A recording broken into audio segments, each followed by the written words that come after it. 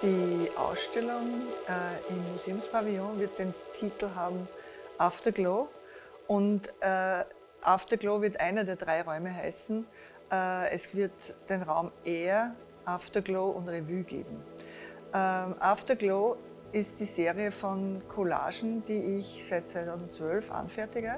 Aber in der Serie Afterglow habe ich mir wirklich Zeitschriften, äh, schöne Wohnenzeitschriften, die ich gefunden habe, äh, genommen und die zum Ausgangspunkt gemacht für eine Erzählung, eine fiktive Erzählung über Menschen, die es nicht mehr gibt, über Räume und Atmosphären, die mich anziehen und zu dem Thema Erinnerung auch für mich wesentlich sind.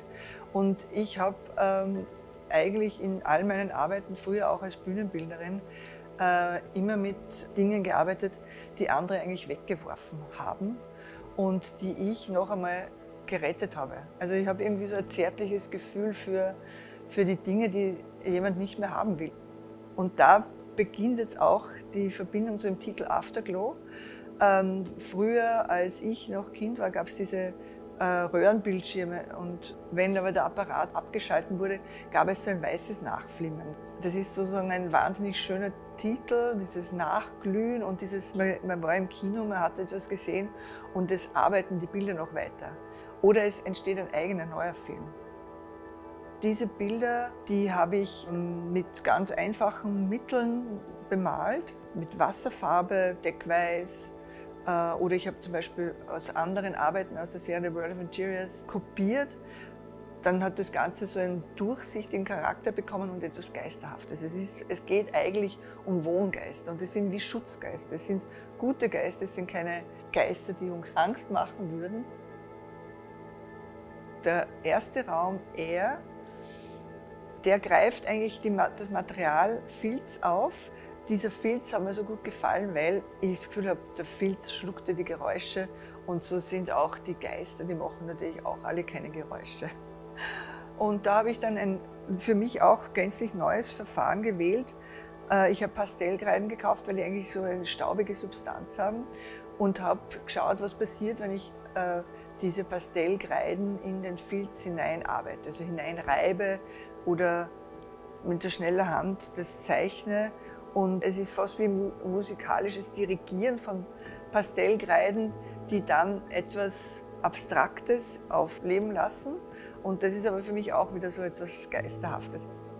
Im dritten Raum, der Raum heißt Revue, werde ich auch etwas zeigen, was ich auch völlig neu für mich entwickelt habe.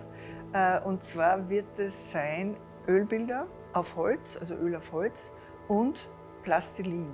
Es wirkt so billig, aber es ist ein wahnsinnig tolles Material und das, was mir so gut gefällt daran, das ist, dass das Plastilin die Ölfarbe noch einmal so akzentuiert und so zum Leuchten bringt. Das sind die Leuchtpunkte. Und gleichzeitig ist es so, dass man sich fragt, ja, wieso taucht jetzt Plastilin auf? Darf man das überhaupt?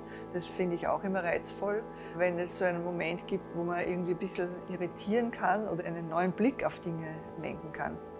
Zu Revue deswegen eigentlich, weil Revue, das ist ja so wiedergesehen, glaube ich, aus dem Französischen. Und ähm, äh, früher war ich auch sehr fasziniert von diesen Fernsehshows, wo es so Treppen gab, wo die Sängerinnen und Darsteller runterkamen oder das Fernsehballett. Ich finde, das ist so aus einer Zeit, äh, äh, wo es noch eine Perspektive in die Zukunft gab, die noch nicht so gestört war. Es war sozusagen die Zeit, es wird einmal alles besser werden, also so diese Nachkriegszeit. Aber ich möchte jetzt nicht äh, mit meiner Arbeit zu sehr äh, den Anschein erwirken, dass es alles so noch rückwärts gewandt ist. Ich verstehe es eher als, als ähm, als Kommentar auch äh, zur Gegenwart oder zum, zu einem, also für mich ist es lustvoll eigentlich.